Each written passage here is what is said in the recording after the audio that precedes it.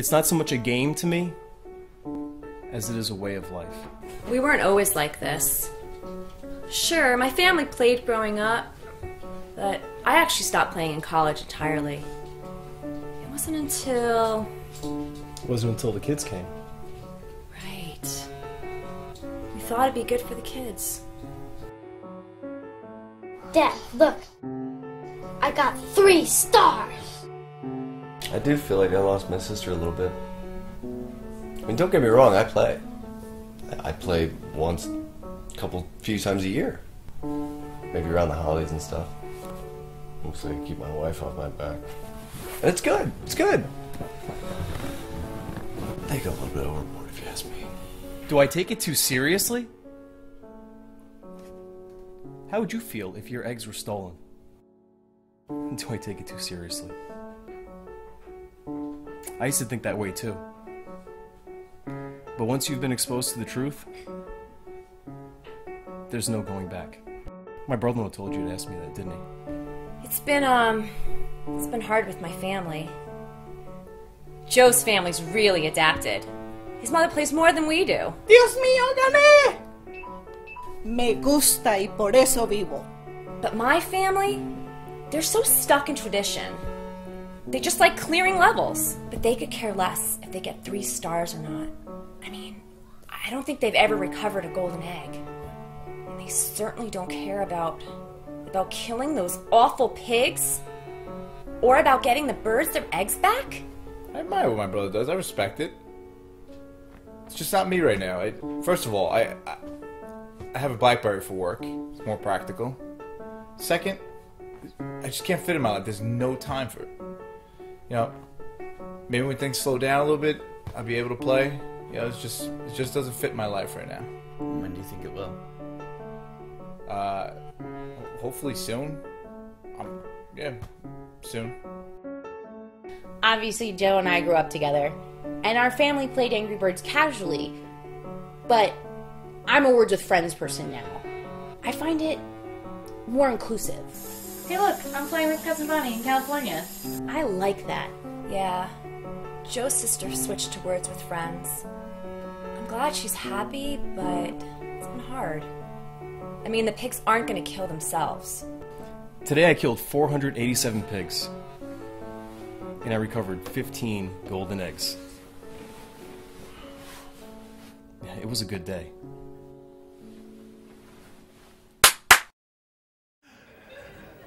Okay. so, good evening. I am Robert Kelly. I am one of the pastors here at the church. Merry Christmas. So glad you guys came out uh, tonight uh, to join us for uh, worship services here uh, and uh, our Christmas Eve service.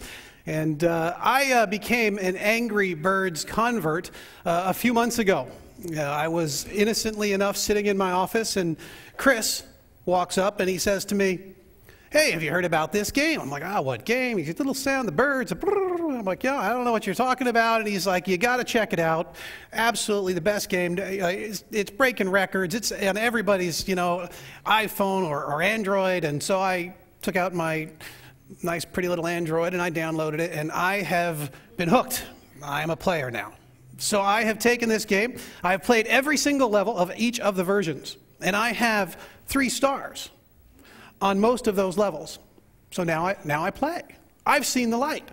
This week, I was talking to one of my converts who uh, some of you might know. He's uh, a man who you'll, you'll see kicking around mostly at the other campus, Mario Obertus. I think he's 75 or 76 or something, and now he just started playing this week and he's got like a nook or a, a, fire or something like that, and there he is. He's just, I could tell he's got the bug. He's all right. I could see it's kind of already growing with him, you know. And you know, this is, of course, uh, you know, one of these cultural kinds of phenomena. Who do we know? Who, who would here say is you're, you're the newest player, meaning you've just started playing in the last week or month or something? It's the first time you ever played. Anyone? When's the first time you got? Who, who's the newest player in the room? When did you start, Matt? Three weeks ago. Anybody can say they started before that? I mean, like after that, like more recently? Anyone? That's it? Is that the most recent? Nobody like picked it up today for the first time or yesterday or anything? All right, Matt, you win. There you go. It's coming back, so someone make sure. Uh, anybody have an idea who the youngest player? Who's the youngest player in the room? Who's we got? How we got? How old? How? Luke. You are the youngest player, man. Play hard. I know what some of you guys are thinking. You know, you've got this idea, of course, this game is uh, a game. It can't be anything more than that. And, you know, you're a little bit too cool for a game like this. Or maybe you're too busy, or maybe you're technologically challenged. I don't know what it is that you might be using as an excuse. I've been finding out there's fewer people playing it than I had even imagined. I assumed all of you were, and I was last to the game. But, uh, you know, some of you might actually say, you know, I play it every once in a while. I'm not going to get too hung up, too serious about it. You know, you pick and choose and you'll play it, you know, once, twice a year, something like that. Or maybe you just simply think, that's really not for me because it's really for kids. You obviously haven't tried it. You might also say it's even childish, or maybe instead you think it's only for people who need that sort of a thing, maybe that kind of a crutch in their life. And of course, if you're talking about a game uh, like Angry Birds, then who really cares? But isn't it amazing how readily we take these same sort of attitudes into our pursuit of faith? How quickly we will become consumers of our own choice. How quickly we will decide and make judgments based upon uh, the way we interpret or understand or feel at any particular time or season. Many of us approach faith in this way. We will ignore the message that God has given to us, we will marginalize the messengers. We will maybe dabble occasionally, but never would we want to plunge in. Maybe it's not even that you're a dabbler. Maybe instead you like to pursue faith in name alone. All of us have been through these various seasons uh, in one, at one time or another in our lives. You know, the Christmas story is the beginning of the last chapter of God dealing with humanity, of calling out, of crying out to humanity. And He has been, uh, for generations, sending us a message through His messengers. He's been sending us a message uh, that, uh, well, as we read tonight, will be good news of great joy to all who will receive it. In short, you might say that God has introduced a new game. He's introduced a new game and He's asking, Will you play? Will you play? We're going to be looking at uh, Hebrews chapter 1. There are Bibles throughout the room. You can feel free to open up in a Bible for our uh, Christmas meditation here this evening. Hebrews chapter 1. If you could uh, find one of those Bibles and open up to the page number there in uh, one of the brown Bibles. And right out of the gate, the writer of Hebrews, this is written 2,000 years ago. In chapter 1, verse 1, he says, In the past, God spoke to our forefathers through the prophets at many times and in various ways. He spoke to us in all sorts of different ways through all sorts of different people. He, he sent us these messengers. Look at verse 14 of the same chapter. He says, Are not all angels ministering spirits sent to serve those who will inherit salvation? He sent prophets, he sent priests, he, he sent angels. In fact, the Christmas story is just loaded with angels. They keep showing up, popping up everywhere. It's like they're a common occurrence, it seems, when you're reading the story.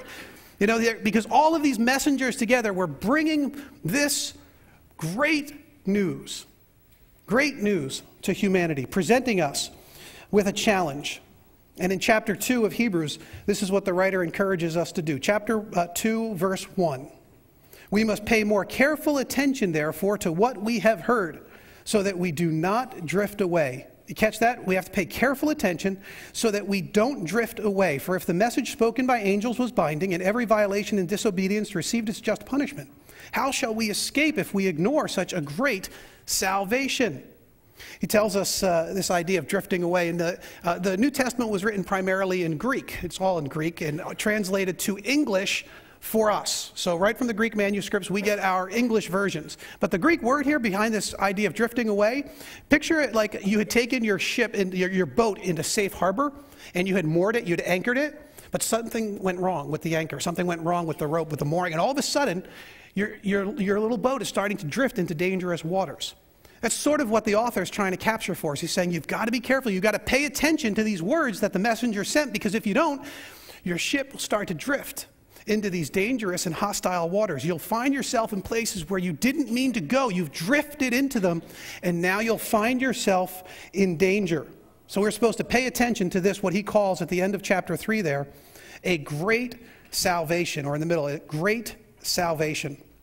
You know, at, uh, in, in, throughout the scriptures, you'll find an emphasis on God's word to us. We call it variously God's word, the scriptures, the Bible. It was given to us through the prophets and the angels and the messengers, but we have it now today in, in the scriptures. You know, the, the, the Bibles that you have sitting in your hands, uh, these are God's word to us. And we're encouraged to pay careful attention to these words. And some people think that this is a heavy handed kind of thing, but when, when you start to see why we ought to pay attention, you start to see the beauty and the wonder of what it is that God has done and why he has done it. And this is one of the reasons at Beacon we emphasize so often the Word of God. All of 2012, all of 2011, we did a chronological reading of the Bible. 2012, we're going to dedicate the entire year to understanding what God's Word says about our pursuit of Him, our spiritual journey. We're going to look at it from a whole lot of different angles, but we're going to make the Word of God the center of what we do. We would encourage any of you. I know some of you might be skeptical about it. You might be a little bit not so sure. Can I even trust it? Is it reliable? These are all the kinds of questions we're going to be looking at in 2012. It's the kind of a thing where if you've never actually been able to have a chance to pick it up or study a little bit, uh, it would be a great opportunity for you to do it. That's what we're going to be, be committing ourselves to because we know that this Word of God is held in such high esteem. It forms the foundation of this gift, this promise that we've been given. So, all right, what is this great salvation that the writer is telling us? You might think of it really as three gifts that are being offered to us, three gifts of salvation. We're going to start in chapter 2, 9, verse 9 where uh, to see the first of these gifts. He says, But we see Jesus, who was made a little lower than the angels, now crowned with glory and honor because he suffered death, so that by the grace of God he might taste death for everyone. Taste death for everyone. That's the first gift. That Christ has tasted death for everyone. That's what this table represents. That's what these elements mean to us. It's, there's, uh, there's so much packed into it, but the, the, the long and the short of it is that now, each and every person can receive forgiveness from God. He tasted death so that we would not have to, so that we might be forgiven.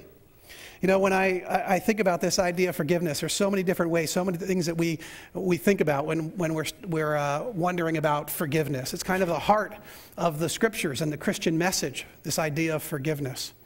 You know, imagine someone knowing all that you've done, all that you think, all of your actions, all of the lack of things, all the, the things that you didn't do that you wish you had done, and loving you still. You're getting a sense of what forgiveness might be. There's a story uh, that's told of a mom. She was preparing, it was Christmas Eve, and she was preparing the, you know, the traditional uh, tray of cookies uh, for Santa, and, you know, the, the little glass of milk. And, and so she takes the cookies and milk, and she accidentally, while she's with her little son, she drops one on the floor. So her son looks terrified. He's like, whoa. Mom picks it up and says, it'll be fine, you know, it's fine. she goes to put it back in the tray. He's like, you, you can't do that. You can't do that. You can't put it back in the tray. And so the mom says, oh, honey, don't worry about it. Santa will never know. He'll never know. And he shoots her a look. He says, he knows if I've been bad or good, but he won't know if the cookie fell on the floor. You know, he knows whether you've been bad or good. He knows all of your secret cookies. He knows which ones you've dropped. He knows which ones, which ones you're addicted to. He knows the ones that you simply can't get enough of or form the center of your identity. He knows the ones that you feel like you can't live with or without. God knows all of these things, and He wants to forgive you. He wants to forgive you. Christ tasted death so that we would not have to. You know, maybe you're the sort that is more inclined, like most of us. Throughout history, there's always been a competing message to this. Most all of the world religions will tell you a simple thing earn your favor with God, work hard, earn His favor, earn His forgiveness. You can do it because it's a self help kind of a world. Have you guys heard recently that they've determined, the, the scientists among us, they've determined what the single most germ infested object, item, that you will normally touch in a, in a given week. Do you know what that is? Have you heard about this? Anyone? It's the gas pump. It's the gas pump. So when you go to fill up for your long trip to your relatives today, Just think about that. The most germ infected surface, such a happy Christmas thought. You can, this most germ infected surface is right there. None of you are carrying gloves. You know this. You're going to reach out and you're going to grab that thing. So next time you pull into that gas station and it says full serve or self serve, you should seriously think about this. You should seriously think about this. It's only a few bucks more. I'm not really sure it's worth it because in some areas of life, it is better not to be self serviced. It's better to have someone else do it for you. And the scriptures tell us over and over and over again faith is not a self service kind of a thing. It's not the way the world works, it's not the way God works with us. He has offered us a forgiveness, full and complete, because Christ tasted death. The second gift of salvation is found in, in chapter 2, verse 10. In bringing many sons to glory, it was fitting that God, for whom and through whom everything exists, should make the author of their salvation perfect through suffering.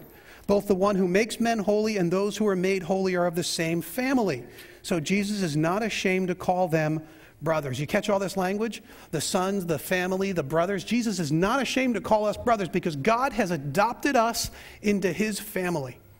If we have trusted in Christ to taste death for us, then we are adopted into his family. And we are never meant to experience that despair of aloneness again. You know, even the happiest moments of our lives have that tinge of loneliness. We come to the holiday season when we're happy about Christmas and the time we get to spend with our crazy families. And don't look at anyone. I see the Perlo clan over here. You're thinking, yes, the whole crazy clan. But you know, it, it, you're here. It's, a, it, it's an exciting time, but of course, you can't help but think about the lost loves, the ones you wished were here, the ones that can't be anymore. You think about your new year and you're excited and it's a happy, it's an optimistic time. And if you know you're, it's a new year, here we go, sailing into 2012. And will that relationship work out? Will my marriage get worse if it can get any worse? Will I be reconciled to my children? Or will we forever be estranged? You see, where even the greatest moments of our lives are tinged with this aloneness, with this thing that aches inside of us. We're hungering for something more, and God has said, You can be adopted into my family. This is a great and an amazing gift. You know, you might say, this isn't really the kind of a family uh, that I would like to be a part of. You know, maybe you know you've got some other ideas as to what your family might look like and what you would pick if you could pick uh, your own uh, family. You know, maybe you think that it, he's not God isn't offering you enough, or maybe you're the kind of a person that says, "I can't even see myself as a brother of Jesus. I'm not. I'm not worthy." I couldn't be, I couldn't be folded into his family in this way. I, it's, it's brazen, it's arrogant to even think so. And yet that's the very promise that he gives to us. Maybe you don't like you don't want to be folded into his family because you don't like the house rules. Maybe you're not so sure you like the way dad runs things around here. Maybe that's what's holding you back from receiving this gift of family. You know, maybe you're just maybe you're just embarrassed. Maybe you're, you're embarrassed that you'll show up in a video like this one day and your whole family will think you're a nut. I heard a story about a woman. She was, uh, you know, taking a shower, and her little two-year-old son kind of found his way into the bathroom, and he was just adorable beyond belief. He rolled himself up in the toilet paper like a mummy. You know, he just kind of like rolled it all out, and she just kind of peeked out, and she saw that, you know, he was rolling himself up. It was the cutest thing. So she jumps out of the shower, she grabs her camera, and she, she takes the picture. It's super cute, one of the cutest pictures she's ever seen of her son. So she makes it her Christmas card. And then the phone calls start coming in because, of course, she didn't notice the reflection in the mirror where she was wearing nothing but the camera. That's what it means to be embarrassed in front of your family. And maybe you feel like, you know, if I go down this line, I start taking faith serious, I'm going to be embarrassed in front of my family. I'm going to be ashamed. Who knows what they'll think about me? They'll think I'm one of those kinds of people. Maybe that's what's keeping you from receiving this gift from God. A third uh, uh, of uh, the gifts that is offered to us here is verse found in verse 14. He says, Since the children have flesh and blood, he too shared in their humanity, so that by his death he might destroy him who holds the power of death, that is the devil, and free those who all their lives were held in slavery by their fear of death. There's so many places we can go with this, uh, you know, that mentions the death and the devil and all this kind of crazy stuff. But take a look at that one phrase who are held in slavery by their fear of death, slavery. See, the scriptures give us this promise of victory over death. It's an amazing gift God offers us, an amazing gift. You know, there's good and there's evil according to the scriptures. There's life and there's death. And it isn't just the kind of death that we think about, you know, the final death of our physical bodies. Because you know our entire lives are marked with death. Different types of deaths, aren't they? Isn't it true that, that each day we die in different ways, just a little bit? You know, you've got a sickness, you've got a very slow kind of painful death. It's a little bit, just a little bit each day, a slow, debilitating kind of death. And God turns around and He says, I'm going to offer you peace in the midst of those trials and that pain, and wholeness as a future promise to you. You might say instead, you know, it's not that that gets me. I'm dying this sort of frustrating death as I wrestle with all of my ghosts, all of these things that tear me down, that make me less of who I want to be in this world. All of those demons that are hiding out in your life, in your closet, the ones that are ripping out my soul, those are the ones that I'm, so these are a death that I'm experiencing all the time. I'm dying to who I really want to be, who I know I ought to be in this world. You're wrestling against this, this death of sin. And the scriptures say that we can have the power of the Holy Spirit in us, that we can have holiness that comes from God, that we can be accepted into His family and see our lives transformed and turned around, so that we don't live the way we used to as slaves to this kind of death. There's an existential kind of death. It's that kind of a thing where you start to ask, what does any of this matter? What does my life account for? What is it going to, if I added up the, all of it and I put it in a bucket, would there be anything there? And what comes after it? Does any of this really matter? A sort of existential death that we go through at different seasons of our lives. And the scriptures say you can have a spiritual life of hope and vitality, of a walk with God that goes beyond anything that you could have hoped or imagined. You approach physical death. And of course, the scriptures tell us the promise of the table is that we will have a resurrected life that, that, that, that death becomes just a, a, a doorway. That's it, a curtain between this world and the next world. And we can have a new hope in a resurrected life. You see, this is an amazing gift that we have been given. What we're told in uh, chapter 3, verse 12 not to harden our hearts. We're warned not to harden our hearts. Look at that. He says, See to it, brothers, that none of you has a sinful, unbelieving heart that turns away from the living God, but encourage one another daily as long as it is called today. Today is called today, by the way. So that none of you may be hardened by sin's deceitfulness. Back in, down in verse 19 of that same chapter, he says, So we see that they were not able to enter because of their unbelief. This hardness of the heart is linked to our unbelief. And I certainly can, uh, this is, you know, this is one of the crosses I have to bear. I tend to be a little bit hard of heart. I can be a cynical kind of a person. My wife and I were driving down the road the other day, and we're listening to this. There's a new Christian radio station. I don't know if you guys heard about this 96.7 K Love, new Christian radio station. It's actually really good. I find it positive and encouraging. so if you, if you haven't checked it out, you should. But every once in a while, they tell a story that sort of just gets under my skin. And this last time they were telling a story, uh, and uh, it was a woman, and it was an amazing, it was an amazing story. Okay, I'm not a total jerk, but it was an amazing story about a woman who had lost 200 pounds. Pretty, her life has been totally transformed, totally changed. And she's like, I just wanted to thank you guys and Jesus for helping me lose all that weight. Okay, she just kept going on. You know, I just thank Jesus for, for losing that weight. And I said, Yeah, that's, so I tell my wife, I'm like, Yeah, that's great. You know, and, you know, thank Jesus and diet and exercise, you know, and you lost that weight. My wife looks at me, she goes, You're such a cynic. Why are you such a cynic? Who do you think gave her the willpower to lose that weight, to diet and exercise? Now, that's when a smart man would have kept his mouth shut. and I said, Well, I suppose the same person gave her the strength who gives the atheists their strength to diet and exercise. And so she just looks at me, she casts me that knowing glare, and she says, Who's the pastor here? this is all based on the common good of God. He's blessing people in this way. And of course, I'm thinking to myself, I just learn what you. Anyway, so you know, here, hardness of heart. It's an easy thing. You see, the scriptures tell us over and over, they warn us.